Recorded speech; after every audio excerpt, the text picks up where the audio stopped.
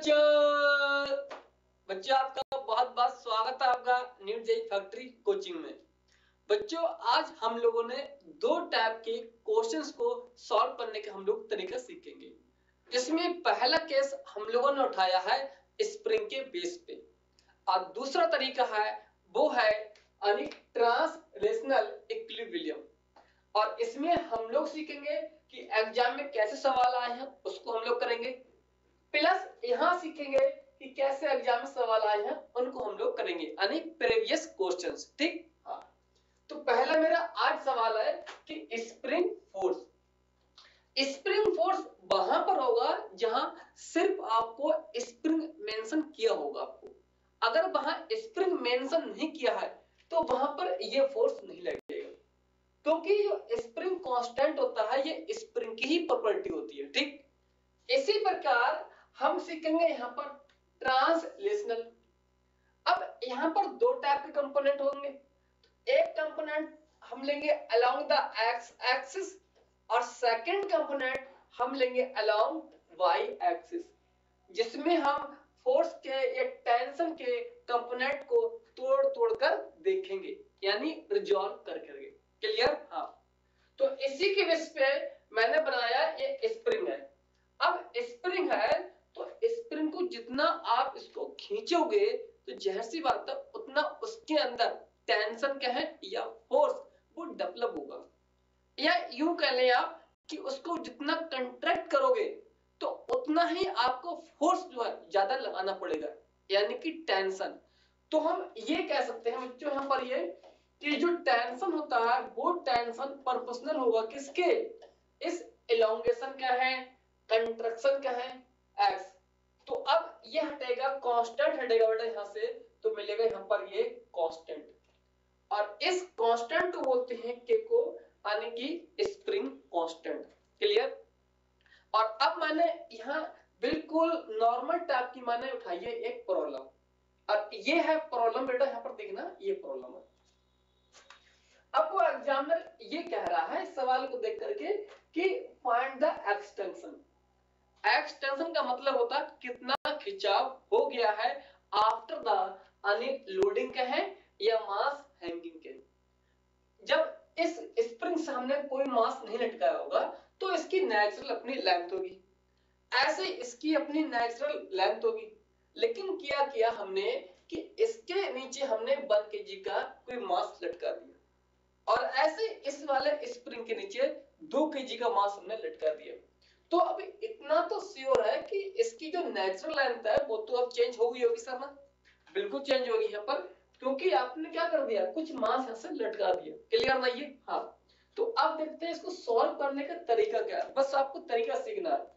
Formula कुछ नहीं है, मैंने बताया था। केवल आपको F equal to M A और जहाँ बोल दें इसको यानी कि एम जी यानी कि इक्विलिब्रियम पे। क्योंकि वहाँ पर क्या होगा जी की वैल्यू ए की वैल्यू हम इक्वल अज्यूम करते हैं, ठीक? तो अब देखिए बेटा, यहाँ पर क्या है? ये 2g है तो 2g है और ये 1g है तो इन पे एक फोर्स लगेगा ड्यू टू नेचुरल यानी कि ग्रेविटी उसकी वैल्यू मैंने यहाँ कर दी मेंशन कितनी वैल्यू इसकी? वो वैल्यू होगी यहाँ पर 2g होगी. और इतना ही नीचे लगेगा, इस पे लगेगा. यहाँ दिखा दिया मैंने कितना? यानी कि वन जी वन ये दिखा दिया।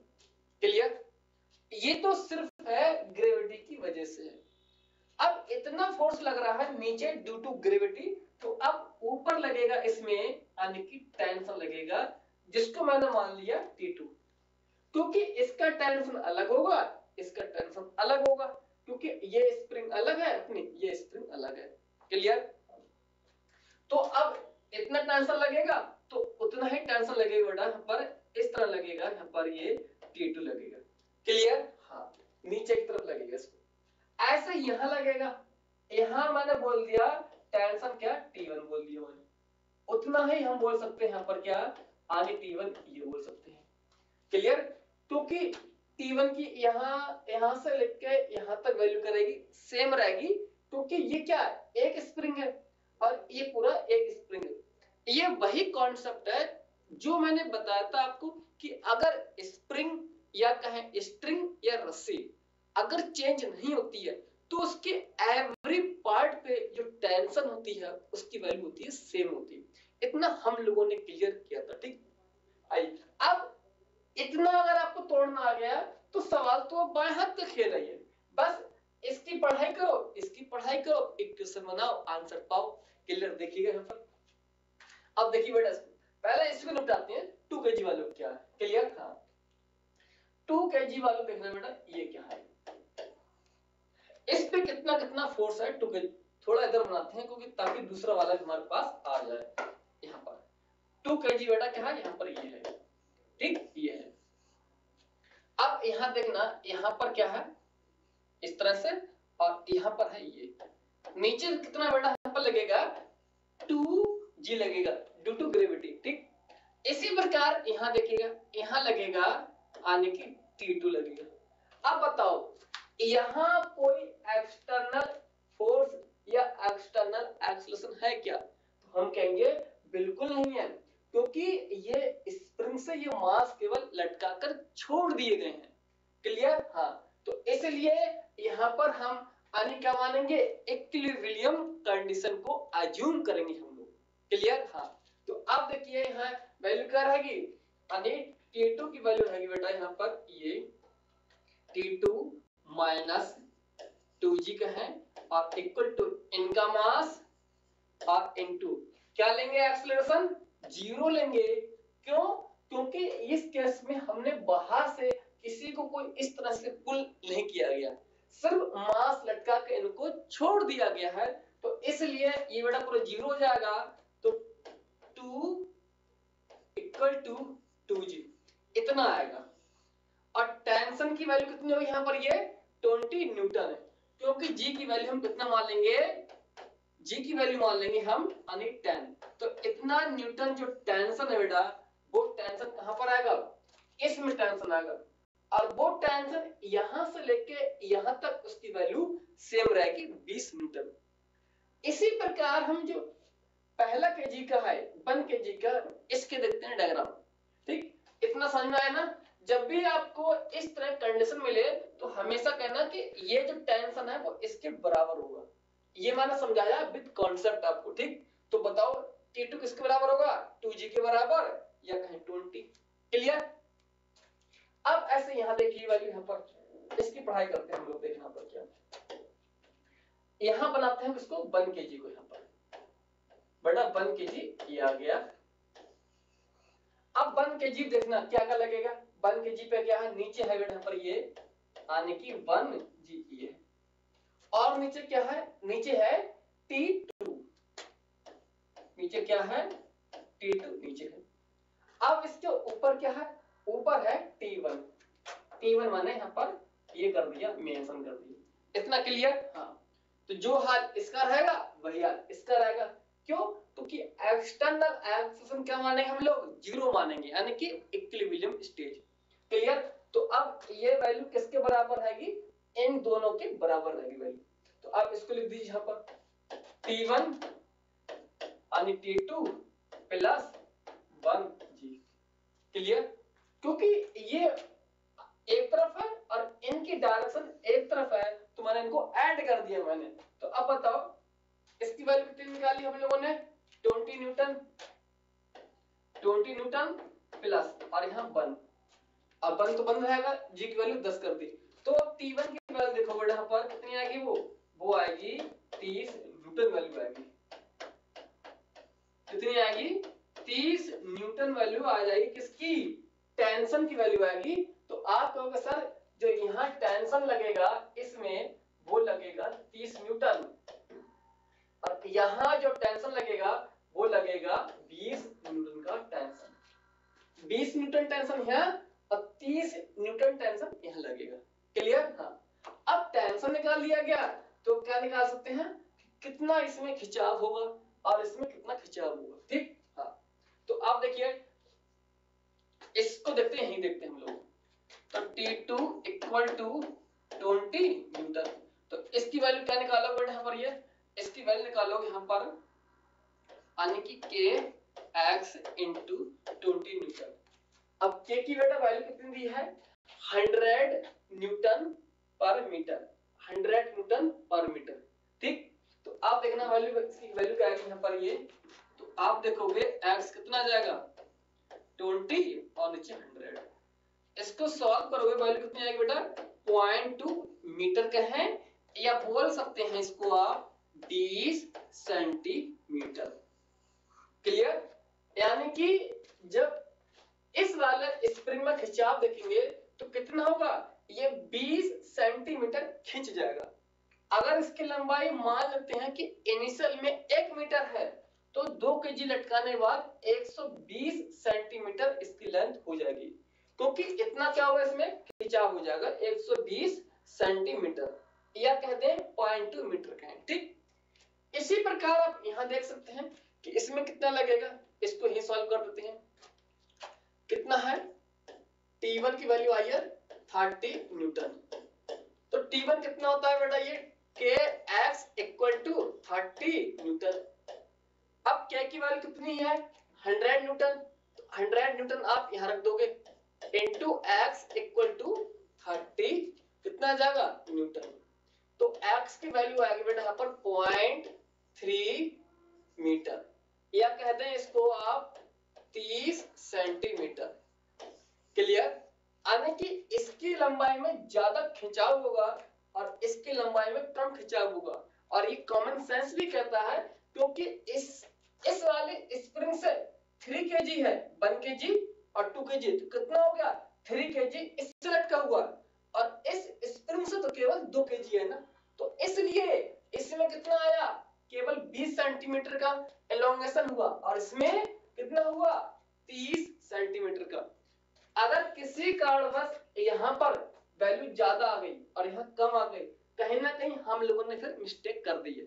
ये लॉजिक है, क्योंकि जितना मास, अगर नीचे वाले मास एक और लटका दिया टू के जी का तो नीचे वाले में जो आएगा एलोंगेशन उसमें कम आएगा, इसमें ज़्यादा आएगा, इसमें और ज़्यादा आएगा।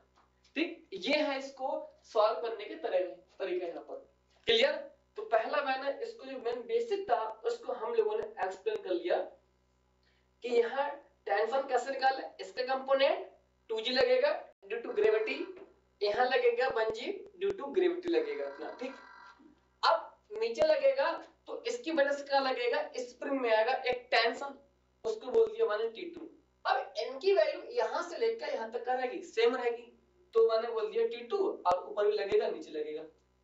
ऐसे यहाँ दिखा दिया मैंने तो इस पे का लगेगा नीचे? 1g लगेगा ड्यू टू ग्रेविटी और T2 वैल्यू ये है। और ऊपर लगेगा T1 क्योंकि ये स्प्रिंग क्या? अलग है। तो इनके कंपोनेंट मैंने, यहाँ बनाया कहाँ पर 2g को हम लोग यहाँ लेके आए इसको, ये दिखा दिया। और 1g को हम लोग ने यहाँ दिखा दिया। इनको दोनों बराबर बेटा 180 डिग्री पे है तो इनको उठा के बराबर कर दो। और ये चीज़ इसके बराबर कर दो तो मैंने ये बराबर कर दी है बस क्या है? और स्प्रिंग के लिए मैंने बताया था फार्मूला क्या होता है? टेंशन क्या है या फोर्स क्या है? इसकी वैल्यू होती है के एक्स और ये हमेशा सिर्फ़ स्प्रिंग के लिए वैलिड है, ये ऐसा नहीं है कि हर जगह लगा दो आप, ठीक? स्प्रिंग नहीं लगेगा स्प्रिंग होना चाहिए, ठीक? हाँ। तो नोट कीजिएगा, फिर हम लोग जो है, एक सवाल हम लोग आगे और देखते हैं। क्लियर हाँ। इतना नोट कीजिएगा। आइए देखिएगा। अब एक सवाल आपको मैं और कर पाता हूँ अपने पास से सवाल। ये भी आपके एग्ज़ाम का सवाल है ये। क्वेश्चन नंबर देखते हैं यहाँ से देखते हैं इसी को नोट कीजिएगा क्वेश्चन नंबर क्वेश्चन नंबर क्या बेटा यहाँ देखिएगा। हाँ, ये कह रहे हैं यहाँ पर ये जैसे कि इन्होंने कोई क्या दिया है? ये वन के जी दे दिया गया यानी कि वन के जी वन के जी को इन्होंने क्या किया है? इस तरह से कोई हॉरिजॉन्टल लटका दिया, इस तरह से, ठीक? और यहाँ इस तरह से, ये बेटा हुआ है, जो जिस तरह कोई एक टेबल होती है, उसी टेबल पर एक इधर से रख दिया और एक पुली लेकर एक मास यहाँ से लटका दिया। बीच में कोई स्ट्रिंग बेस पर ठीक? हाँ इस पे लेके यहाँ टी दिया है और इसकी वैल्यू क्या है? यहाँ पर ये वैल्यू है। और यहाँ इन्होंने क्या कर दिया गया है? कोई मास बोल दिया गया उसकी मास की वैल्यू क्या यहाँ पर? ये टू के जी वैल्यू का मास की ठीक? हाँ। इसी प्रकार एक मास और दे दिया इन्होंने ये। कितना है ये? ये है थ्री के जी है। कितना है बेटा ये? ये है थ्री के जी है टू के जी है और ये इस तरह से जो है यहाँ पर ऐसे करके ये घूम के आया है। ठीक, ये कोई पुली है यहाँ पर। बस इतना दिया है। आने पूछा क्या है इन्होंने ये? मैं लिख रहा हूँ। Find the find acceleration find acceleration of system और क्या पूछा है? और पूछा है टेंशन पूछा है इन्होंने। Tension in string tension in string पूछा है। टेंशन इन स्ट्रिंग पूछा है और पूछा है, यानी कि extension. In spring. Extension in spring पूछा है और इन्होंने वैल्यू दी है, यानी कि वैल्यू दी है, यानी कि स्प्रिंग कॉन्स्टेंट की वैल्यू दी है। वैल्यू दी है, इन्होंने बेटा ये दी है यानी कि 50 न्यूटन पर मीटर इतनी वैल्यू इन्होंने दी है। जी की वैल्यू दी है इन्होंने, कितनी दी है? 10 मीटर पर सेकंड स्क्वायर ठीक? ये सवाल उन्होंने हमको दे दिया गया। इस तरह देखना, और बड़ा का अच्छी, काफ़ी अच्छा सवाल है ये, देखना। ये कोई टेबल इन्होंने इस तरह से, और टेबल पे क्या कर दिया? इन्होंने इसको अरेंज कर दिया ऐसे करके। एक ब्लॉक को ऐसे रख दिया इसके ऊपर और एक को ऐसे लेके बड़ा लटका दिया नीचे। एक को यहाँ पर। अब क्या किया? इसके नीचे फिर लटका दिया एक। लेकिन अब स्प्रिंग नहीं दी। इसमें उन्होंने स्प्रिंग दिया है। अब इसकी जो वैल्यू बेटा वो कितनी है स्प्रिंग कांस्टेंट की? यानी कि 50 न्यूटन पर मीटर। क्लियर ये वैल्यू है इसकी। अब पूछ रहा है कि जो स्प्रिंग है, यहाँ से देखना, यहाँ तक क्या रस्सी है? यानी धागा कोई? तो कह रहा है, यहाँ टेंशन क्या हुआ? सेकंड ऑप्शन पूछा है कि अब ये दो के जी मास से थ्री के जी मास किसी स्प्रिंग से लटका दिया गया तो इस लटकाने के बाद इसमें कितना खिंचाव होगा, कितना एक्सटेंशन होगा, ये पूछा थर्ड पॉइंट कि पूरे सिस्टम का एक्सलेशन क्या होगा? बस ये सवाल पूछा। और बस मैंने पिछली बार में मैंने करवाया था लेक्चर नंबर सेकंड में। वहाँ मैंने यहाँ पर आपको ये देखे यानी दो ब्लॉक थे। थर्ड नहीं था। तो वहाँ पूछा था मैंने एक्सटेंशन और फिर मैंने बताया था कि एक ब्लॉक ऐड और करेंगे, इसको नेक्स्ट लेक्चर में। तो वो नंबर अब आया है इस क्वेश्चन का। क्लियर हाँ। काफ़ी अच्छा सवाल है, बहुत अच्छा सवाल है। नोट कीजिए इसको ये। ये कोई टेबल बेटा है। इतना क्लियर बताइए। हाँ। ये है कोई पुली आइए। अब आपको पता होना चाहिए इनकी इक्वेशन क्या है। इतना नोट हो कितना ना ये देखिए यहाँ पर क्या इनको एक तरफ़ करते हैं, बस इनकी डायग्राम बनाते हैं, ठीक? देखिएगा। अब इतना तो पता है यार, कभी जाएगा फ्यूचर में ना तो बेटा ये इधर की तरफ़ ही आएगा। क्या ऐसा हो सकता है, कभी ये दोनों उठकर इधर की तरफ़ जाए? तो आप कहोगे, सर, ये ऐसा बिल्कुल नहीं हो सकता। क्यों? क्योंकि इस पे तो ये रखा हुआ है ना।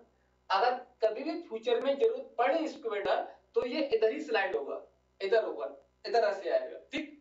तो मैंने मान लिया, इनका जो एक्सेलरेशन है, वो मैंने मान लिया नीचे क्या? मैंने ए मान लिया इस पूरे सिस्टम का।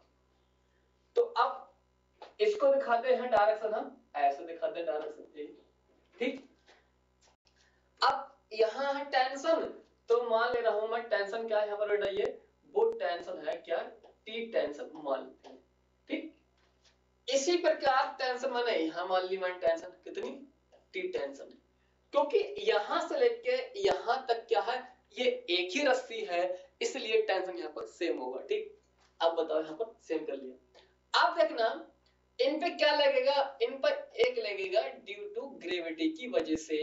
वो लिख दिया मैंने टू जी लिख दिया। इतना क्लियर अब देखते जाइए कौन कौन से फोर्स इस पर लगने वाले हैं। क्योंकि आपको फ्री बॉडी डायग्राम बनाना आ गया तो मान चलिए आपको फिजिक्स फिर आ गई आपको बाकी तो फिर क्या है इक्वेशन ऐड करना, जोड़ना, घटाना मल्टीप्लाई करना मतलब नर्सरी वाली पढ़ाई है। बस ये बॉडी बनाना, कैसे कंपोनेंट तोड़ना मेन चीज़ मैकेनिक्स का यही है। और अधिकतर बच्चे बोलते हैं कि मैकेनिक्स में ही उनको डर लगता है।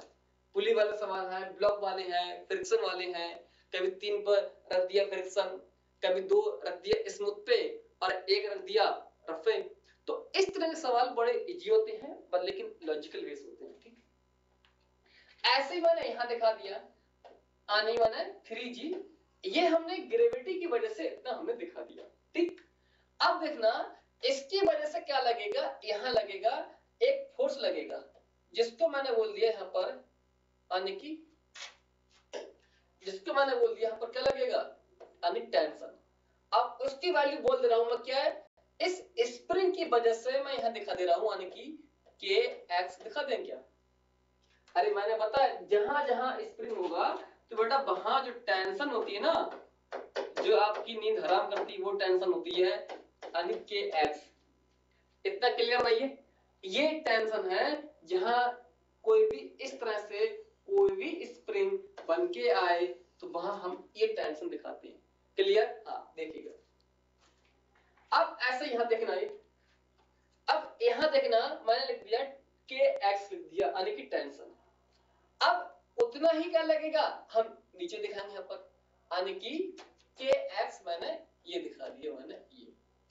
इतना क्लियर हाँ। जितना ऊपर लगेगा, उतना ही नीचे लगेगा, यानी कि opposite but in equal direction sorry यानी अपोजिट लगेगा डायरेक्शन में और इक्वल होगा मैग्नीट्यूड अकॉर्डिंग टू न्यूटन के थर्ड लॉ एक्शन रिएक्शन अगर इनकी वैल्यू मान लेते हैं एक पल के लिए, अगर एक हज़ार आ रही है तो एक हज़ार वैल्यू ये भी होगी, क्योंकि ये यहाँ से यहाँ तक स्प्रिंग सेम है ये। तो वैल्यू सेम होगी, जिसी प्रकार इसकी वैल्यू सेम होगी तो उस पर, यहाँ यहाँ समझ सेम होगी वैल्यू ठीक? अब करना क्या है यहाँ पर? ये ब्लॉक ये ब्लॉक और ये ब्लॉक तीनों के किस्म बनाओ और सॉल्व करो और एंजॉय करो, ठीक? देखिए यहाँ पर ये। बस इतना है, आपको बनाना आ गया तो बहुत ही इतना इजी है, ठीक? हाँ। अब देखते हैं थ्री के वाला ब्लॉक है, इसकी कैसे बनेगी इक्वेशन टू के वाला, इसकी कैसे बनती है? और वन के वाला तो इजी है पूरा, ठीक? देखिएगा। अब ब्लॉक आ कैसे रहे बेटा ये ये आ रहे हैं डाउनवर्ड आ रहे हैं क्योंकि मैंने डायरेक्शन दिखा दिया ए क्योंकि अगर फ्यूचर में आएँगे तो बेटा नीचे की तरफ़ ही आएँगे, ऐसे ठीक? तो देखिए यहाँ पर। पहले बता रहा हूँ मैं डायरेक्शन किसके लिए मैं? अन्य थ्री के जी भी दिखा देते हैं यहाँ पर। यही दिखाते हैं डायरेक्शन थ्री के जी वाले पे। थ्री के जी वाले पे हम कौन कौन से फोर्स दिखा सकते हैं? थ्री के जी वाले पे हम दिखा सकते हैं बेटा यहाँ दिखना। थ्री के जी वाले पे मैं नीचे दिखा सकता हूँ आपको यहाँ देखना। एक मैं दिखा दी कितना है? Three G due to gravity clear इसी प्रकार यहाँ लगेगा फोर्स लगेगा। इसको मैंने बोल दिया क्या? के एक्स बोल दिया। ठीक? अब ये पूरा सिस्टम है। ये सिस्टम कैसे आगे ये ये सब नीचे की तरफ़ ही आ रहा है। ठीक? तो इसको मैंने बोल दिया नीचे आने की डायरेक्शन के मैंने बोल दिया डाउनवर्ड क्लियर तो अब इनकी इक्वेशन क्या होगी? इसकी इक्वेशन लिखोगे आप, यहाँ देखना।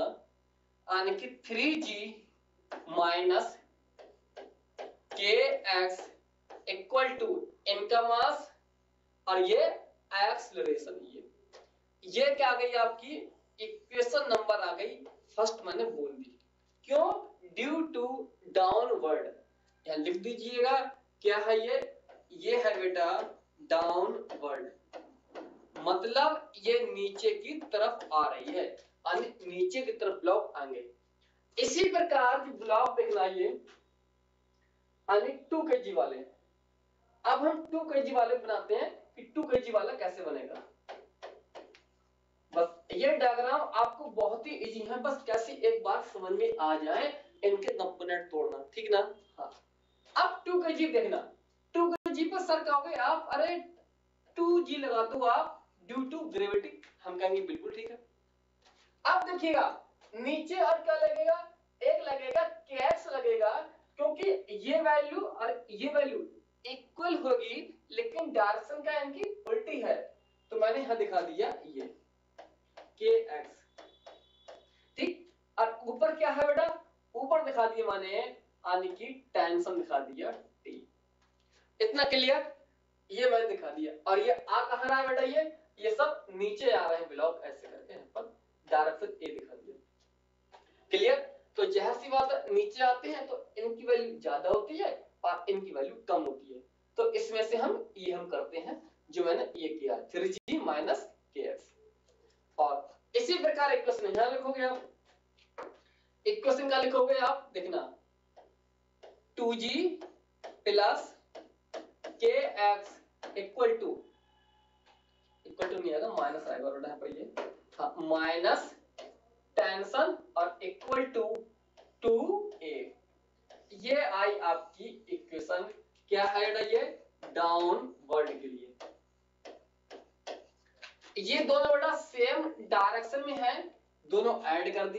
अब इसमें से मैंने क्या कर दिया? ये माइनस कर दिया मैंने ये तो मैंने ये कर दिया, क्योंकि ये अपोजिट डायरेक्शन में है। इनका फोर्स मैंने ये लिख दिया मास इंटू ए ये लिख दिया। ठीक, ये है इक्वेशन टू के जी की। ऐसे देखिए यहाँ पर, अब वन के जी की बात करते हैं हम लोग। वन के जी पे। तो वन के जी बेटा मैं इसको मैं यही दिखा दे रहे हैं, वन के को हम लोग यही दिखा दे रहे हैं। देखना। तो आप कहोगे, सर, यहाँ पर मैं थोड़ी जगह नहीं यहाँ पर मैं यहाँ दिखाता हूँ वन के। जी वन के जी देखना, ये है। वन के जी पर देखना, यहाँ क्या है पूरा ये इस तरह से पूरी स्ट्रिंग है ना ये? तो यहाँ क्या बेटा, ये टेंशन है, ये दिखा दिया। ये आ कैसे रहा है? इधर की तरफ़ आ रहे हैं ना? तो मैंने दिखा दिया ये तो अब बताइएगा आप इसको पीछे कोई रोकने वाला है क्या बेटा क्या? नहीं है ना? इसको देखना, इनको पीछे रोकने वाला है क्या कि अभी मत जाओ? नहीं है ना? तो इनका टेंशन और ये मास और एक्सेशन, हम इक्वेशन डायरेक्ट लिख देते हैं इसकी। कैसे लिखते हैं? देखा, tension equal to one into और ए। ये वैल्यू आ गई किसकी? इसको मैंने लिख दिया। क्योंकि इसको पीछे रोकने वाला कोई ब्लॉक ही नहीं है तो डायरेक्ट ये इसका मास इंटू ए ये आ गया, ठीक? ये एक प्रकार की क्या है? सूडो फोर्स है बेटा सब ये सब सूडो फोर्स होते हैं, ये वाले, ठीक? हाँ। इसको मान लो, कैसे फ़र्स्ट मान लो, इसको सेकंड मान लो, और इनको मान लो आप थर्ड ठीक? हाँ देखिए यहाँ पर सॉल्व करते हैं, इनको बस जब मेन चीज़ ये इक्वेशन बनाना है। इक्वेशन आ गई आपको तो फिर आपके सवाल गलत होने की कोई चांस नहीं है। अगर इक्वेशन में कोई भी गलती हो गई तो सवाल फॉर मिस्टेक हो जाएगी। ठीक? हाँ। अब तो क्या बस इनको ऐड करो जोड़ो आंसर निकालो। आई देखते मैं यही निकालता हूँ सबको पहले पहले यही ऐड कर लेते हैं ऐड क्या है? Three G minus K X equal to three equation first equation second two G plus K X minus T equal to two A second equation equation ये वाली। T equal to one into A और equation third ठीक I solve करते हैं देखना दोस्तों। आप देखिए यहाँ पर ये। प्लस के एक्स और ये माइनस के एक्स तो minus plus cancel minus plus tension cancel अब देखिए यहाँ पर क्या? है थ्री और टू कितने हो गए ये? ये हो गए फाइव जी।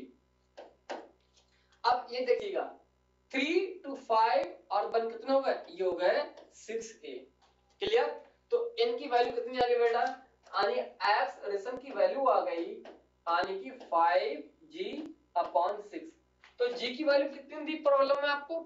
जी की वैल्यू क्वेश्चंस में दिया उन्होंने दस। तो ये आ जाएगा बेटा पचास इंटू सिक्स यानी कि लिख सकते हैं twenty five by three metre per second तो ए की वैल्यू लिख लीजिए यहाँ पर।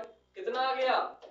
25 five by three metre per second square पहला चीज़ तो आ गई जो हम लोगों ने यहाँ से क्या निकाल लिया? एक्सलेशन ऑफ़ द सिस्टम ये हम लोग निकाल लिया। इसकी वैल्यू जहाँ पुट कर दोगे, वो अब आपका आ जाएगा, यानी कि टेंशन आ जाएगा यहाँ दोगे। ठीक? हाँ। देखिएगा टेंशन अब यहाँ देखिए कितना है ये?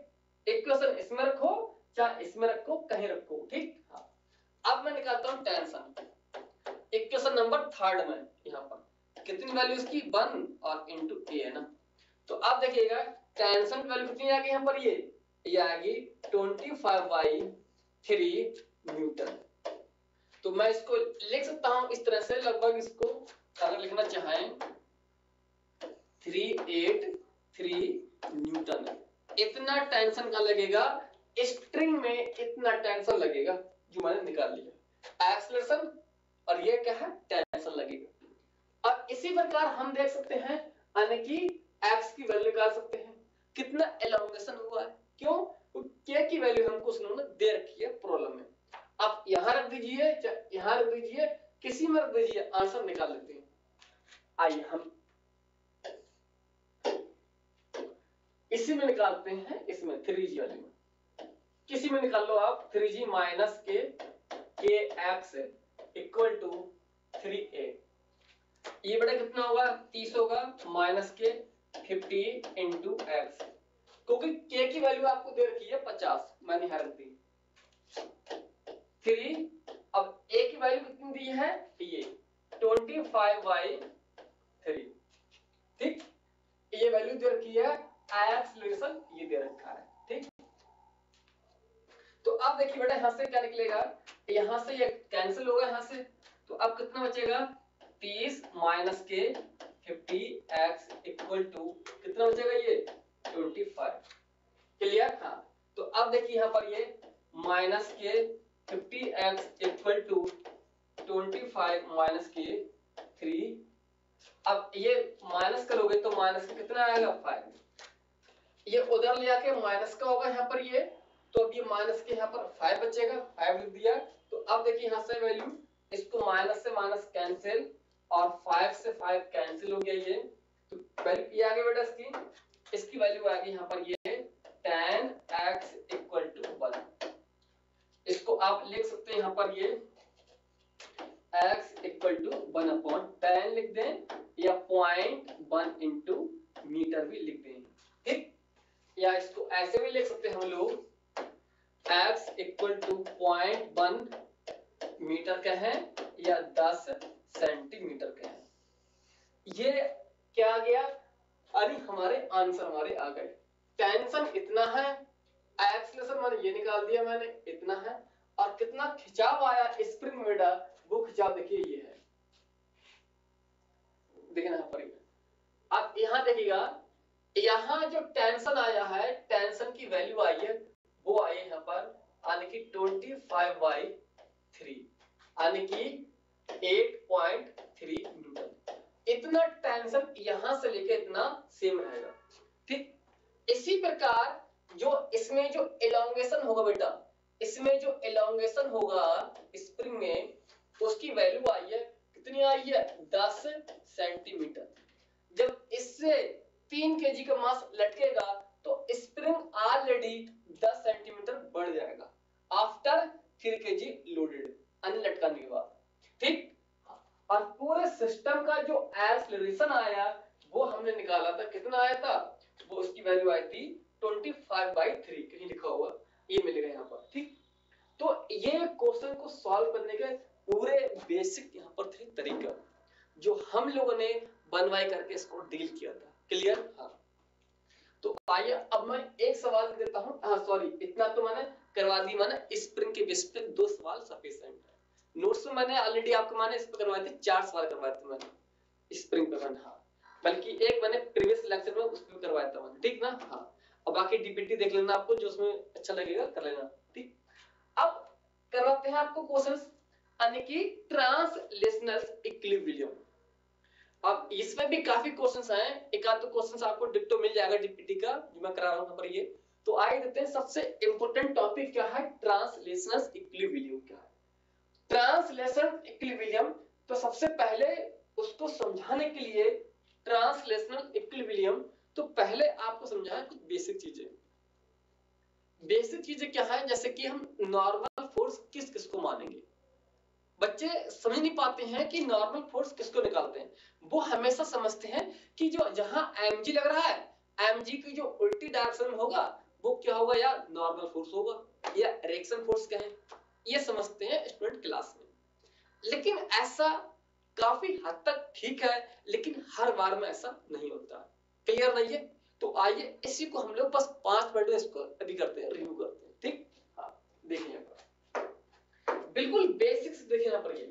यानी कॉन्सेप्ट क्या बेटा कॉन्सेप्ट है ये टू फाइंड टू फाइंड है क्या? नॉर्मल फोर्स नॉर्मल क्या है? या इसको बोलते हैं बेटा रिएक्शन फोर्स बहुत ज़बरदस्त है। आप इसको बेटा मैं एन से दिखा दे रहा हूँ। और हो है, किसी किताब में बेटा इसको कोई आर से भी दिखाते हैं, ठीक? आर कहें या एन कहें ठीक? हाँ एक ही बात है। जैसे पहला सवाल देख, पहला कॉन्सेप्ट देखिए, सवाल नहीं बेटा ये कॉन्सेप्ट है ये। जैसे यहाँ कोई बड़ा ये ब्लॉक ऐसे लटका रखा है, ठीक? इस तरह से। और यहाँ मान लेते हैं मेरे पास कोई एम ग्राम का मास है। एम के जी क्या मास है कोई? यहाँ सिस्टम पे ऐसे करके ये टेबल हो सकती है या कोई ग्राउंड हो सकता है। जैसे कि आपके सामने देखना, जैसे कि मैं यहाँ पर इस समय इन्हीं फर्श पे जो है खड़ा हूँ यहाँ पर। तो आप कहोगे कि सर आपका जो वेट है ना वो एम जी नीचे लग रहा। उतना ही weight equal direction sorry equal value लेकिन अपोजिट डायरेक्शन में आपको ऊपर लगेगा फोर्स उसी को बोलते हैं नॉर्मल फोर्स बोलते हैं। जैसे किसी को हम दबाते हैं तो ऐसा लगता है कि वो हमको ऊपर की तरफ़ कुछ फोर्स लगा रहा है। क्लियर तो उसी को बोलते हैं, आने की नॉर्मल क्या है या क्या है रिएक्शन फोर्स ठीक? तो इन पे क्या लगेगा? इन पे लगेगा यानी ड्यू टू ग्रेविटी वो लगेगा एम जी लगेगा। अब ये जितनी भारी भरकम बॉडी होगी तो उतना ही फोर्स लगेगा ऊपर, जिसको बोल दिया मैंने नॉर्मल फोर्स बोल दिया, या कहें रिएक्शन फोर्स का। ये वैल्यू अगर हल्की बॉडी है तो हल्के से दबाएगा। हल्के से दबाएगा तो इनकी वैल्यू कम होगी। भारी बॉडी है तो ज़ोर से दबा देगा बेटा। ज़ोर से दबा देगा बेटा तो ज़ाहिर सी बात है तो इसकी वैल्यू बढ़ जाएगी ना। आप समझ गए ना ये? हाँ। देखिए यहाँ पर क्या है। आपके हाथ में है, कैसे इसको दबाना, ठीक है ये? ऑलरेडी आपको सब प्रैक्टिस होगी दबाने की बेटा, ठीक ना? देखिए यहाँ पर क्या सेकंड देखते हैं यहाँ पर क्या है। इतना हम लोगों ने देख लिया यहाँ पर। फिर देखिए यहाँ पर मैं समझाऊ ऐसे करके आपको। जैसे कि ये देखिए, तरीका सीखना है बस आपको। आपके दबाने का बड़ा स्टाइल बदल दिया जाएगा। हर बार बेटा ऐसे दबाते ना, मज़ा नहीं आता ना, देखिए यहाँ पर। आप अच्छे समझ आ गए यहाँ पर, देखिएगा, जैसे देखिएगा। यहाँ से क्या किया, कोई इस तरह से एंगल पे इसको जो है आनी मानते हैं थीटा डिग्री है। ठीक? अब यहाँ को दे दिया फोर्स दे दिया एफ़ फोर्स तो क्या है, अब बताओ एफ़ फोर्स यहाँ लगा दिया गया है यहाँ पर ये, इस तरह से।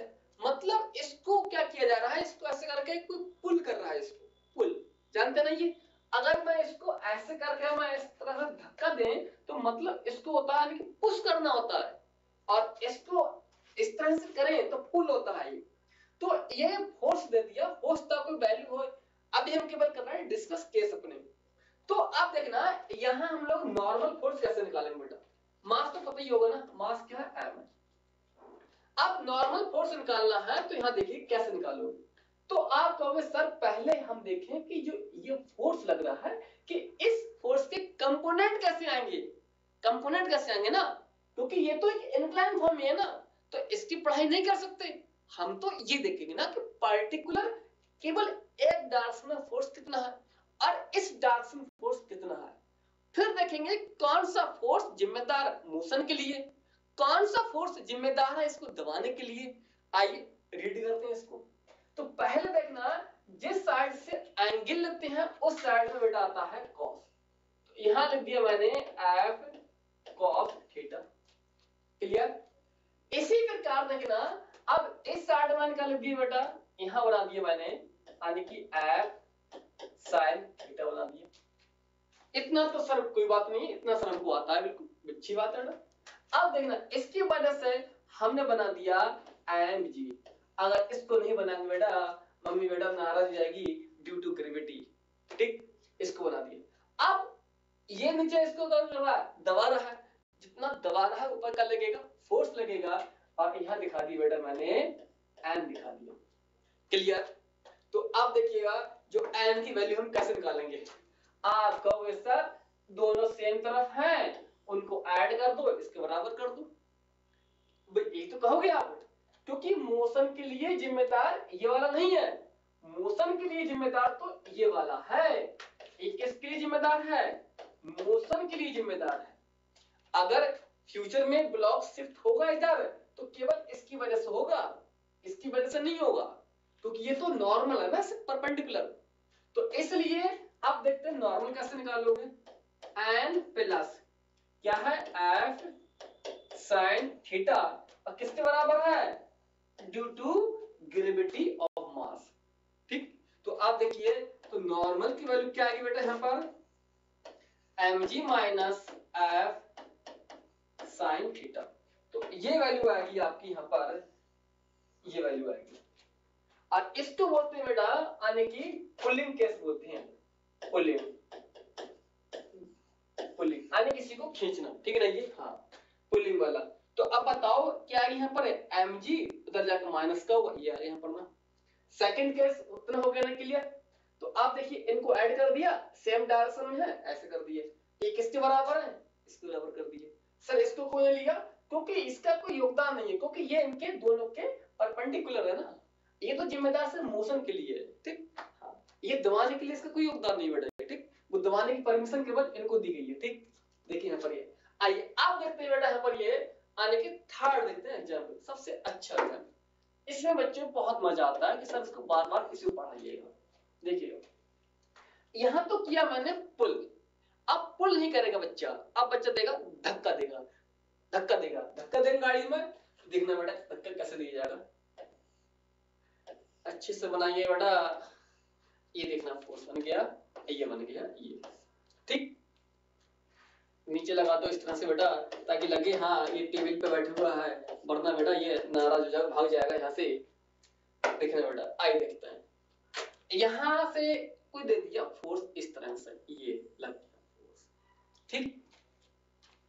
अब यहाँ से जो दिया है बेटा, यहाँ पर इसकी जो वैल्यू दी है यहाँ से करके, ऐसे करके, वो वैल्यू दी है आने की थिएटर डिग्री दिया है। अब कितना फोर्स लग रहा है ये? एफ़ फोर्स लग रहा है और मास क्या है? एम और इसको बेटा बोलते हैं, हम लोग बोलते हैं आने की पुशिंग पुशिंग आने की किसी को पुश करना, पुष्पा करना। ठीक है ये? हाँ। आने इसको उधर से ऐसे धक्का देना। ठीक ये है। अब इसमें क्या किया जा इसमें किया जा रहा था, उसको पुल किया जा रहा था, लेकिन इसमें इसको पुश किया जा रहा था। तो अब देखना, अगर मैं इसके कंपोनेंट तोड़ू मैं कंपोनेंट इसके ही तोड़ देते हैं। जब कंपोनेंट तोड़ो बेटा यहाँ पर देखना बेटा इसके इसके कंपोनेंट तोड़ोगे यहाँ पर देखिएगा। तो अगर देखिएगा, इस तरह देखिएगा, ये है और यहाँ ये है। आप कहोगे, सर, अगर ये डिग्री थीटा है तो उतना ही एंगल ये होगा। देखिए यहाँ पर कि अगर यहाँ से देखना बेटा, अगर ये एंगल थीटा है तो उतना ही एंगल ये भी होगा। अगर 30 डिग्री है तो इस साइड से भी 30 डिग्री होगा। ठीक? ये वेक्टर मैंने पढ़ाया एक्सप्लेन तो अब मैंने जिस साइड से एंगल लिखते हैं, वो साइड आती है, मेरी कॉस आती है। तो इसको मैंने लिख दिया यहाँ पर यानी कि इस साइड को लिख दिया मैंने एफ़ कॉस थीटा लिख दिया। अब इसके ये परपेंडिकुलर है तो इसमें आएगा यानी कि एफ़ साइन थीटा आएगा। क्लियर अब इस पे बेटा दबाएगा कौन? Due to gravity M G जितनी ज़ोर से दबाएगा, उतने ज़ोर से क्या लगेगा? ऊपर फोर्स लगेगा। ए को दिखा दिया मैंने एंड दिखा दिया मैंने। इतना क्लियर ना ये? बहुत ही मज़ा आता है पढ़ने में चैप्टर बहुत ही स्ट्रॉन्ग है, समझे? क्लियर नहीं हाँ? स्ट्रॉन्ग जब भी होगा, जितना आप इसका आपका अटैचमेंट उतना होगा। क्लियर नहीं? देखिए। अब आप कहोगे, सर, यहाँ देखिएगा। आप कहोगे, सर, कि देखिएगा यहाँ पर ये। जैसे कि ये फोर्स अब ये फोर्स सेम डायरेक्शन में है। अब किसके बराबर होंगे ये? इसके बराबर होंगे। तो सर, इसको कौन लिया? क्योंकि ये फोर्स क्या? ये मोशन के लिए जिम्मेदार है। मोशन के लिए जिम्मेदार ये वाला है। जो इसको हम लोग ऐसे धक्का दे थे, तिरछा करके तो हम देखेंगे कि इसकी वजह से केवल इसमें कितना फोर्स लग रहा है, जो चलाने के लिए जिम्मेदार होगा। अब इसकी वजह से इतने कितना फोर्स लगेगा इस डायरेक्शन में, जो दबाने के लिए जिम्मेदार है। तो ऐसे कंपोनेंट तोड़े हमने, फिर देखा कि यार तुम तो यार दबाने के लिए जिम्मेदार हो, यार हम यार चलाने के लिए जिम्मेदार हैं। तो आइए, इनकी पढ़ाई, ये चीज़ इसके बराबर कर दो। क्लियर? हाँ। तो आप देखिएगा, अगर मैं इसको बेटा यही बनाऊँ एक बार, देखिएगा, बहुत ही अच्छी चीज़ है। इसको बनाना चाहे बेटा तो देखना एफ़ कॉस थीटा ये आएगा। नीचे क्या आएगा बेटा? एम जी इसी प्रकार यहाँ देखिएगा ये चीज़। यहाँ कितना आएगा। एफ़ साइन थीटा ये एफ़ साइन थीटा और ऊपर क्या लगेगा? नॉर्मल लगेगा। तो आप देखिए बेटा यहाँ पर, ये सारी चीज़ें क्या है बेटा ये? सेम डायरेक्शन में है। किसके बराबर होंगे? इसके बराबर। तो बताओ नॉर्मल फोर्स क्या आएगा यहाँ पर? नॉर्मल आएगा M G plus F sine theta clear ये फोर्स आएगा। अब बताओ क्या ये फोर्स ज़्यादा है नॉर्मल क्या ये ज़्यादा है? तो आप कहोगे, सर, अगर मैं इसको वन मान लू, इसको मैं वन मान लें और इसको टू मान लें। तो आप कहोगे, सर, जो वैल्यू है एन टू की ग्रेटर है एन वन से यानी कि इसकी वैल्यू ज़्यादा होगी। क्यों? प्लस है ये। ये वैल्यू कम होगी क्योंकि माइनस है। इसलिए क्वेश्चंस एनसीईआरटी में दे रखे हैं और कई बार पेपर में रिपीट हुआ है। कि किसी सिस्टम को या ब्लॉक का है या बर्डे उसको पुलिंग करना है, काफ़ी इजी है फिजिबल है, लेकिन उसको पुश करना काफ़ी टफ है, यानी कि हमको बहुत फोर्स लगाना पड़ेगा इसको। ऐसे कह सकते हैं। ठीक ना ये? हाँ। ऐसी केस बच्चों पढ़ाते हैं, यानी पुलिंग वाले सिस्टम में। जब वहाँ पर होगा रोटेशन चैप्टर होगा, ठीक ना? तो वो चीज़ अलग है, ये चीज़ अलग है पर। तो इस केस में समझ में आ गया ना कि पुलिंग करना किसी को क्या है? काफ़ी इजी है। एज कंपेयर टू पुश करना किसी को। क्लियर हाँ। आपने घर में देखा भी होगा आपने कि फील नहीं किया होगा बस ये। आज जाकर बेटा फील करना आ जाकर ठीक है ये? हाँ टब को पकड़ना और टब को ऐसे खींचना बेटा जिसमें पानी भरा जाता है। उसको ऐसे खींचना और अगली बार में कि मम्मी खींचेंगे नहीं, अब तो इसको धक्का देंगे हम। मम्मी कहेंगे बेटा, पगला का बेटा क्या? क्लियर देखिएगा पर।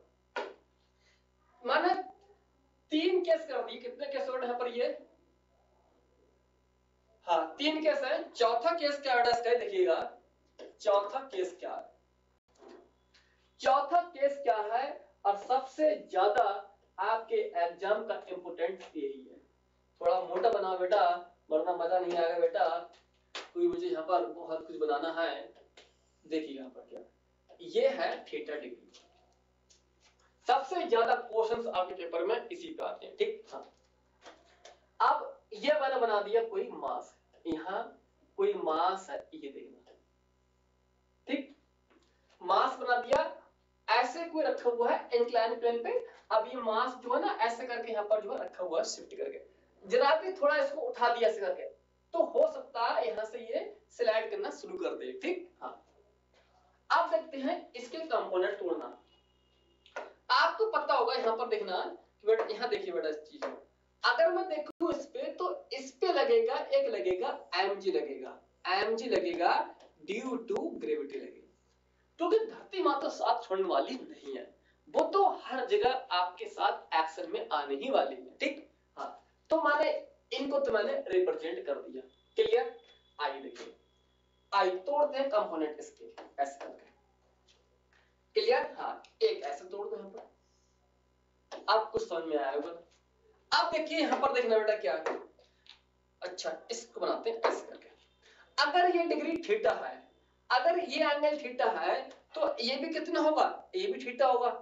सॉरी ये कितना होगा? 90 माइनस थीटा होगा ये वाला। तो ये कितना होगा? ये होगा, ये वाला होगा थीटा डिग्री होगा। क्लियर जैसे मैं यहाँ दिखा रहा हूँ आपको, जैसे कि ये चीज़ है, यहाँ पर देखिएगा इसको। अगर ये थीटा डिग्री है और ऐसे करके मैं इसको ये बनाऊँगा ठीक? और मैं इसको यहीं से दिखा दूँ, ऐसे करके ये, ठीक? और फिर मैं दिखा दूँ ऐसे कंपोनेंट इसको, ऐसे करके। तो आप कहोगे सर कि अगर यहाँ पर ये थीटा डिग्री है तो ये होगा 90 माइनस थीटा होगी। अब ये 90 माइनस थीटा होगा तो ये कितना होगा? ये होगा थीटा डिग्री होगा। समझ गया ना ये? हाँ क्योंकि इनके इनके बीच कितना है? 90 डिग्री है ना ये?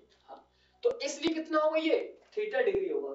तो अब देखना इसके कंपोनेंट तोड़ोगे तो कितना आएगा ये? ये आएगा एम जी कॉस थीटा। क्योंकि जिस साइड से एंगल लेते हैं, वो साइड आती है कॉस में आती है। उसके परपेंडिकुलर वाली साइन में आती है। तो इसको लिख दिया मैंने एम जी साइन थीटा। अब बताओ, इसको दबाने के लिए जिम्मेदार कौन है? तो आप कहोगे सर दबाने की परमिशन तो केवल इनके पास है। इनके पास तो केवल चलाने की परमिशन है। क्यों? क्योंकि तो ये तो ऐसे खींचेंगे ना। और ये ये इसको दबाने की कोशिश कर रहे हैं इसको। इसीलिए ये कहेंगे कि तुम मत जाओ, हम दबाएँगे। लेकिन ये कहेंगे, नहीं, दबाओ मत। आओ, साथ आओ, ऐसे करके। इसीलिए अब लगेगा, ऊपर लगेगा, एक नॉर्मल फोर्स लगेगा। According to Newton third law action reaction बहुत ही इंटरेस्ट चैप्टर है एक बार, क्योंकि आप जानते हैं कितना समझो अच्छा चैप्टर है क्योंकि यहाँ परमिशन इनको मिली है इस ब्लॉक को दबाने के लिए, रोकने के लिए, ताकि जितने ज़्यादा दबाएँगे ज़ोर से तो चांस है ब्लॉक के स्लाइड होने की उतने कम। इसलिए यही जिम्मेदार। अगर इनकी वैल्यू होगी ज़्यादा तो इनके हो जाएँगे अगर दबाने की चांस कम। स्लाइड कर जाएगा। तो बताओ, इस केस में नॉर्मल फोर्स आएगा बेटा, क्या आएगा? एम जी कॉस थीटा क्या आएगा? एम जी कॉस थीटा ये नॉर्मल फोर्स का आंसर है। क्लियर हाँ। चौथा केस दिखा दिया मैंने ये। पाँच, सबसे ज़्यादा इंपोर्टेंट बेटा यही केस है। ठीक? सबसे ज़्यादा मेन इंपोर्टेंट क्वेश्चन यही है। बहुत बहुत क्वेश्चन पूछेंगे। फ्रिक्शन के बेस पे और लेक्चर फ़र्स्ट सेकंड में मैंने क्वेश्चन करवाया भी इस्तेमाल ठीक ना ये? हाँ। अब एक केस और करवा दूँ आपको मैं ये। यानी कि सिक्स नंबर का केस क्या है? देखिएगा। सिक्स नंबर का केस क्या है? जैसे यहाँ देखिए बेटा। अब इसके लटकाने की बेटा ना आदत बदल देते हैं। इसके लटकाने की आदत ही बदल देते हैं। अब लटकाने की आदत बदल जाएगी बेटा। तो दबाने की आदत भी बदल जाएगी ना? आइए। इनको कुछ अलग एंगल से दबाते हैं बेटा। देखिए ना।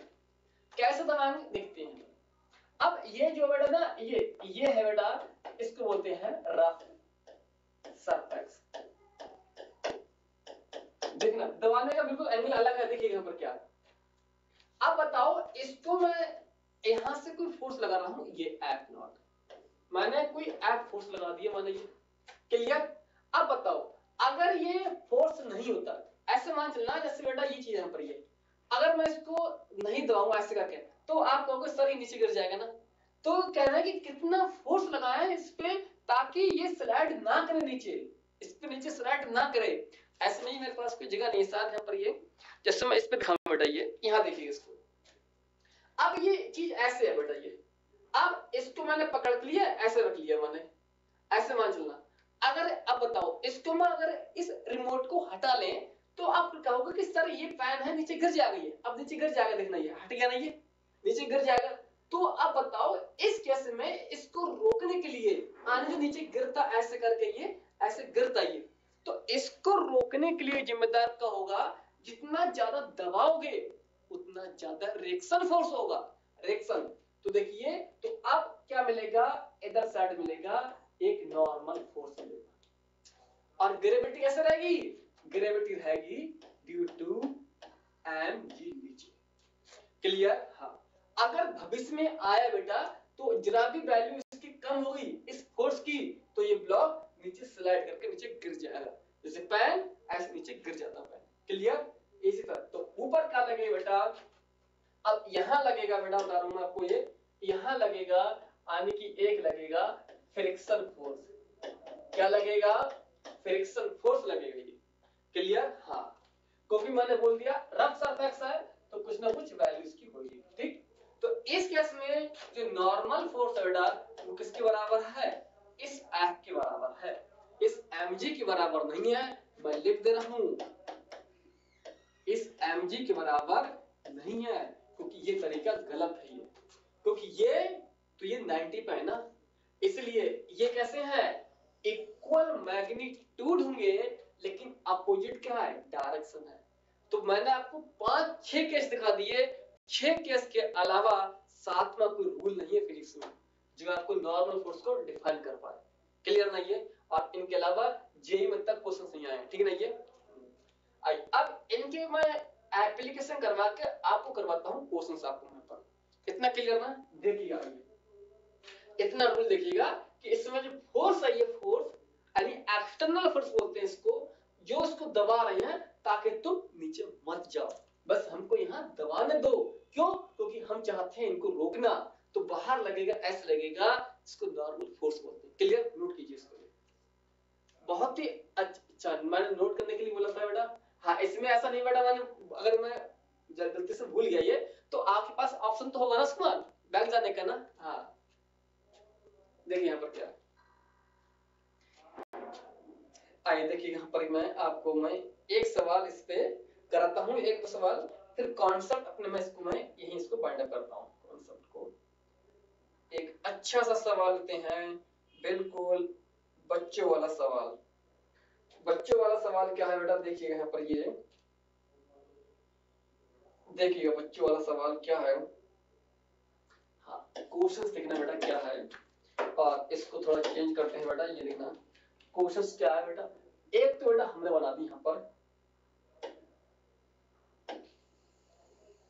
देखिए यहाँ पर, एक बन गई यहाँ पर बेटा, ये रॉड बन गई यहाँ पर। रॉड बन गई यहाँ पर। बेटा बन गई यहाँ पर इसको बोल दिया मैंने। इस तरह से बेटा क्या है, ये कोई एक रस्सी है, ऐसे करके आई है। ये रस्सी कुछ इस तरह से रस्सी है, ठीक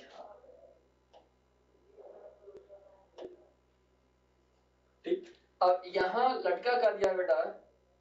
एक ब्लॉक है ऐसे करके यहाँ पर ये, और ब्लॉक लटका दिया गया है। फाइव के का ब्लॉक ऐसे करके लटका दिया गया है। क्लियर हाँ।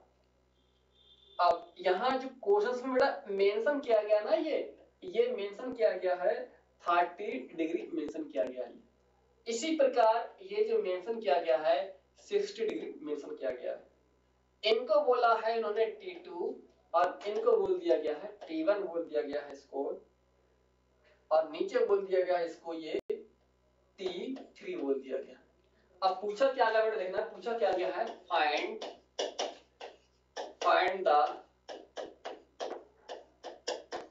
tension T1 and T2 and T3 in string.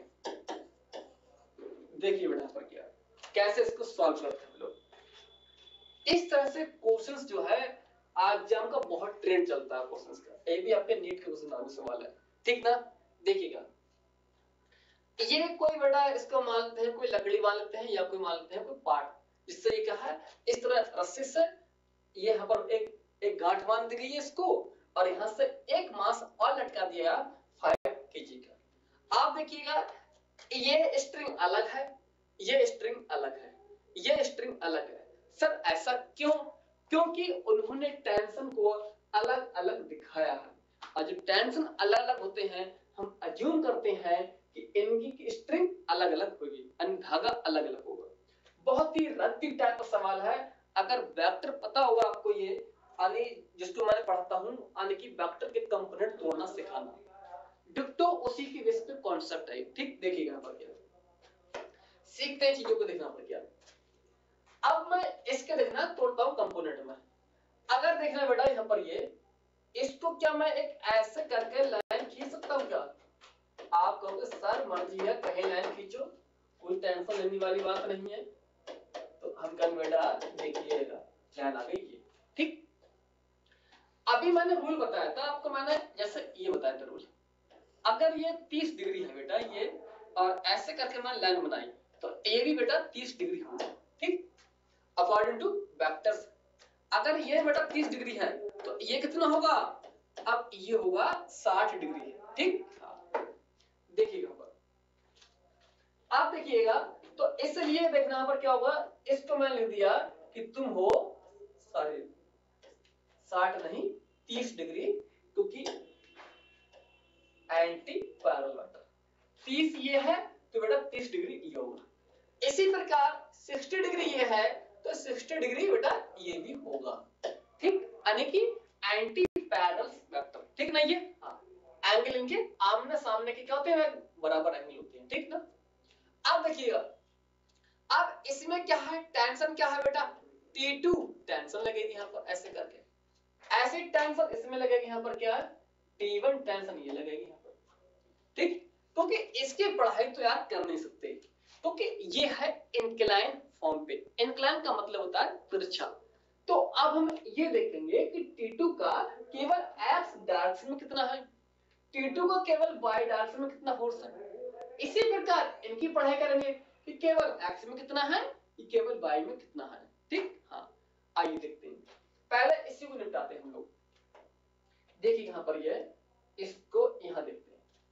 अगर मैं यहाँ देखूँ इसके तो जिस साइड से एंगल लगते हैं तो उस साइड को हम बोलते हैं, यानी कि cos, कितना एंगल है ये?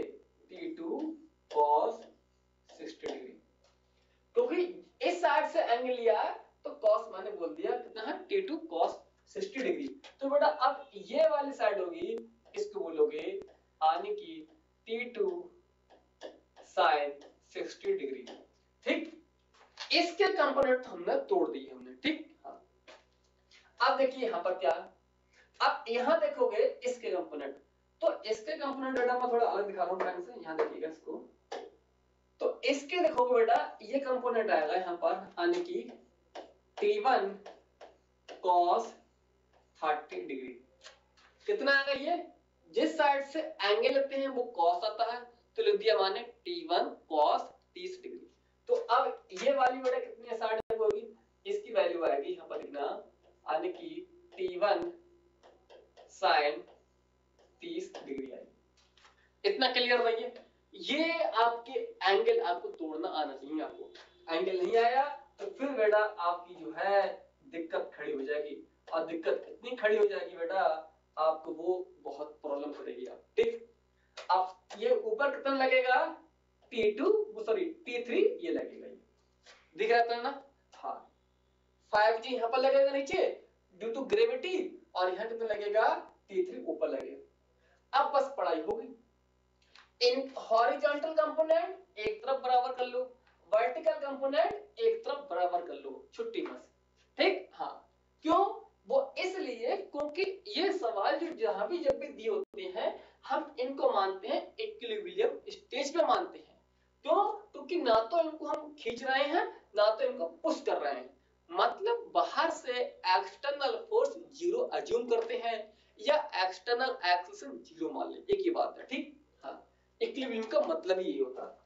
तो अब देखिए तो पहले मैं पढ़ाई कर रहा हूँ किसकी? एक्स की मान ले, चाहे पहले वाई की मान लें। तो हम लोग पहले मान लेते हैं एक्स की। लिखना इन एक्स एक्सिस में एक्स एक्स में क्या होगा बेटा? यहाँ पर देखना। इसमें वैल्यू आएगी, यहाँ देखना बेटा। कितनी है? T1 cos 30 degree equal to ये वैल्यू कितनी है? T2 cos 60 degree. क्लियर तो इनकी वैल्यू पुट करोगे। हाँ बेटा, कितनी आएगी वैल्यू वैल्यू पुट करोगे तो इसकी वैल्यू होती है T1 की वैल्यू होती है root three by two cos तीस की वैल्यू कितनी होती है? रूट थ्री बाई टू ऐसे यहाँ रख दोगे आप T2 तो इनकी वैल्यू कितनी होती है? इनकी वैल्यू होती है हाफ़ इतना क्लियर हाँ. तो अब देखिए यहाँ से चीज़ें देखना। इस हाफ़ से अच्छा इधर भाग रहा बेटा, भागो बेटा। भागो बेटा टेंशन बढ़ जाएगी बेटा, भागो इतना दिख रहा ना ये? हाँ। तो अब देखिए यहाँ से, इस टू से टू कैंसिल यहाँ से। तो कितना बचेगा यहाँ पर? यहाँ बचेगा, लिखिएगा। यहाँ बचेगा ये T1 root three equal to T two इतना यहाँ से ये बचेगा। यानी T1 और T2 का रेट आपका इस तरह मिलेगा आपको रिलेशन आपको इसी तरह अब बताओ, जो T3 है ये T3 किसके बराबर है? तो आप कहोगे सर इसको मैं ही सॉल्व करता हूँ, जो T3 है T3 होगा 5G के बराबर। T3 किसके बराबर होगा? T3 होगा 5G के बराबर। और G की वैल्यू कर दो बेटा 10 तो बेटा आ गई ये 50 न्यूटन आएगा। तो T3 कितना हो गया? 50 न्यूटन फोर्स E हो गया। ठीक? हाँ ये वैल्यू इसके बराबर मैंने यहाँ पुट कर दिया अब देखिए यहाँ पर और करते हैं हम लोग वैल्यू इसकी वैल्यू अब करते हैं बाई एक्सिस में। ये दोनों वैल्यू सेम डायरेक्शन में है। तो बेटा वैल्यू ये ऐड हो जाएँगे यहाँ पर ये। और ये वैल्यू अपोजिट डायरेक्शन में है तो ये वैल्यू बराबर हो जाएँगे। यानी ये दोनों और ये बराबर करेंगे। तो लिखना इन बाई एक्सिस में क्या लिखना लिखना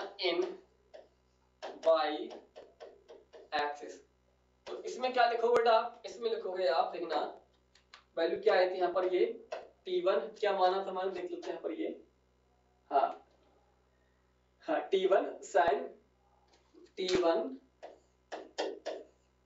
sine 30 degree plus T2 sine 60 degree और इक्वल टू हम लिख सकते हैं, आप बेटा यहाँ पर लिख दो T3 लिख दो।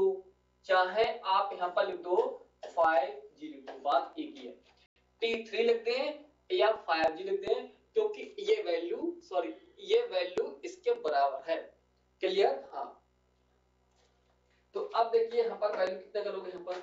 इसकी वैल्यू करोगे यहाँ पर T1 और साइन की वैल्यू कितनी होती है बेटा? तीस की हाफ़ होती है। प्लस इसकी वैल्यू कितनी होती है? टी टू और इसकी वैल्यू होती है रूट थ्री बाई टू और कितना है बेटा ये? पचास। ये वैल्यू क्लियर हाँ। तो अब देखिए यहाँ पर अगर नीचे टू कॉमन लें तो इधर कितना होगा? हंड्रेड हो जाएगा। तो नीचे अगर कॉमन ले लें तो कितना होगा? T one plus root three T two equal to hundred कितना होगा बेटा ये? सौ हो जाएगा। क्योंकि नीचे दो कॉमन लोगे, दो से मल्टीप्लाई करो, पचास में कितना होगा? वो सौ हो जाएगा डायरेक्ट कर दिया मैंने। तो अब बताओ, मेरे पास क्या आ गई? क्वेश्चन आ गई T one plus root three T two और हंड्रेड ये वैल्यू जो है, यहाँ पर आपके सामने ये वैल्यू आ गई। और दूसरी वैल्यू मेरे सामने यहाँ पर आई। तो आप देखिए बेटा, इनकी वैल्यू जो है, आप क्या कर दोगे? ये आप पुट कर दोगे। आप पुट करोगे, इसकी वैल्यू तो क्या मिलेगा? आपको आंसर मिल जाएगा T1 T2 की वैल्यू तो आइए मैं वैल्यू ही पुट करता हूँ इसकी वैल्यू T2 T1 कितना है? टी वन तो ये रखा है T1 प्लस रूट थ्री अब देखिएगा जो T2 है T2 की वैल्यू कितनी है? T2 की वैल्यू है, यानी T1 root three T1 root three equal to hundred ये मैंने वैल्यू मैंने पुट की है टी टू की वैल्यू मैंने यहाँ रख दी। तो टी वन तो ये रहा रूट थ्री यही है। T2 की वैल्यू मैंने रख दी टी वन और रूट थ्री बराबर हंड्रेड तो आप देखना है इसके मल्टीप्लाई करोगे, आगे बेटा पर देखना। तो रूट थ्री रूट थ्री कितना होगा ये? ये हो जाएगा थ्री तो T one plus three T one और इंटू हंड्रेड क्योंकि ये रूट थ्री ये रूट थ्री और ये रूट थ्री इसकी मल्टीप्लाई करोगे तो बेटा ये कितना आएगा? ये आ जाएगा थ्री आ जाएगा। अब थ्री आ जाएगा थ्री मैंने ये लिख दिया। और थ्री और वन कितना होगा ये हो गए फोर टी वन और इंटू हंड्रेड क्लियर अब इसकी बेटा यहाँ से क्या कर दोगे? डिवाइड कर दोगे चार से तो आ जाएगा पच्चीस आ जाएगा। कितना आ जाएगा? तो T1 की वैल्यू कितनी आ गई यहाँ से बेटा? यहाँ से आएगी पच्चीस न्यूटन तो T1 कितना आ गया? T1 आ गया पच्चीस न्यूटन वैल्यू आ गई इसकी। T1 इतना आ गया तो फिर हम वैल्यू को रख सकते हैं। वैल्यू मान निकाली थी कि T2 equal to root three T one ये वैल्यू निकाली थी T2 equal to T1 root three तो ये वैल्यू मैंने यहाँ निकाली T1 की वैल्यू रख दो यहाँ पर। जब इसकी वैल्यू बेटा यहाँ पर वैल्यू पुट करोगे यहाँ पर तो क्या आएगा? T2 आ जाएगा आने की हाँ सही है twenty five root three clear हाँ। ये वैल्यू किसकी आ गई? टी वन की आ गई। और एक वैल्यू यहाँ पर ये आ गई तो मैं आंसर लिख दे रहा हूँ। T1 कितना आया है? T1 आया है 25 न्यूटन आया है। टी टू आया है 25 रूट थ्री आया है। और टी थ्री आया था आपका 50 न्यूटन ये आपके क्या है? आंसर है, आपके सॉल्व करने के आंसर क्लियर हाँ। ये सवाल है, बिल्कुल बेसिक टाइप का सवाल है। इतना इतना क्लियर नहीं है हाँ। सब चीज़ यहीं पर है, इसको देख लेना, ठीक ना? हाँ। आइएगा। बस करना क्या है? ये कुछ नहीं करना है, सिर्फ़ आपको पहले x x कंपोनेंट बराबर करना है। दूसरे केस में y एक्सिस के बराबर करना है। ये क्यों लिया पॉजिटिव इसलिए क्योंकि ये दोनों कैसे हैं? सेम डायरेक्शन में है, दोनों ऊपर है। और किसके बराबर है ये? जो नीचे एम जी लग रहा है, इसके बराबर। देखिएगा इसके बराबर। ये दोनों बेटा किसके बराबर है? आप लिखोगे यहाँ पर। ये दोनों क्या हुए पर ये? दोनों सेम डायरेक्शन में है तो इनको आप, यानी ऐड कर दोगे। किसके बराबर कर दोगे? इसके बराबर कर दोगे। क्योंकि ये उल्टे डायरेक्शन में है बाई एक्स में। और इनको और इनको बराबर कर दोगे, क्योंकि ये हॉरिजॉन्टल में है। और आपका आंसर आ जाएगा। क्लियर ना ये ये मेन चीज़ है कंपोनेंट तोड़ना आपको आना चाहिए।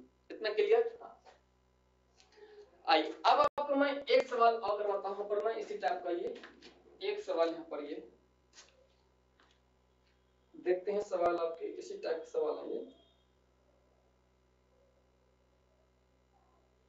सर कॉल कर रहे हैं सर सर रुक जाइएगा, थोड़ी देर रुक जाइएगा, अभी आपसे मिलते हैं इतना क्लियर रहा ये? हाँ बस इसी टाइप के सवाल हैं, कुछ भी यहाँ पर नहीं है ठीक ना ये? हम्म। डिक्टो, बस वही सवाल है कुछ इनमें नया सवाल मुझे नहीं दिख रहा, मुझे कोई नया सवाल ऊपर नहीं क्लियर बस हाँ इतने सफिशिएंट है आपकी प्रैक्टिस के लिए। इतना क्लियर नहीं है इतने सफिशिएंट है, ठीक? बस अपना ध्यान रखिएगा। और अच्छे से पढ़ाई कीजिएगा। बस मिलते हैं फिर किसी और लेक्चर में। नए मूड के साथ। तब तक के लिए अपना ख्याल। Okay bye Tata.